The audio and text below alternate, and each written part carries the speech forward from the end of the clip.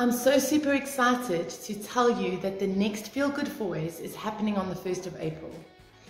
If you are feeling a little bit stuck, or if you are feeling down, or if you are feeling anxious, I want you to ask yourself when was the last time that you did something for you? Three hours of full on personal development where you are going to walk out feeling like a whole new human being. And if you don't believe me, ask the people who came to the previous sessions. I really hope you can make it. Please book your tickets, click on the link, and I can't wait to see you on the 1st of April. Hi guys, Brian here. Hi everyone, my name is Fiona Harris. Just want to let you know that I attended the Feel Good Fourways second session. I went to the last Feel Good Fourways.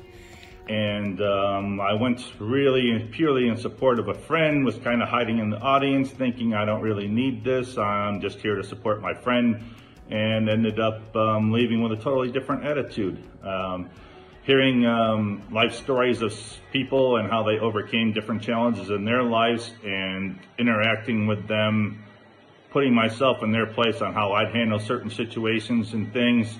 And um, more importantly, being able to share my opinions and interact with the crowd and add value and see a lot of stressed faces when they entered and knowing each person there was going through their own struggles and things and then seeing those same people leave with big smiles on their faces, making new friendships, uh, hugging strangers and things, and just really learning a few different things, things I'm implementing in my life every every day, trying to anyway, and um, just some great speakers, learning some new things, interacting with some great people, and uh, really good event. Uh, I had absolutely no idea what to expect. Um, I just knew I had this calling that I needed to go somewhere for some kind of a, a, upliftment.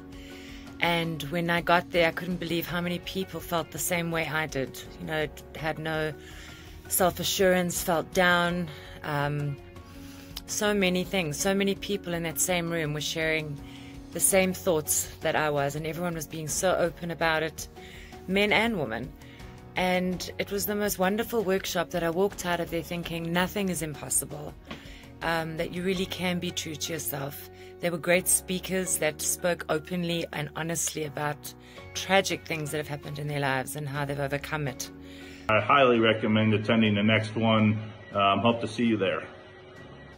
So I really recommend that you go to the next Feel Good Fourways.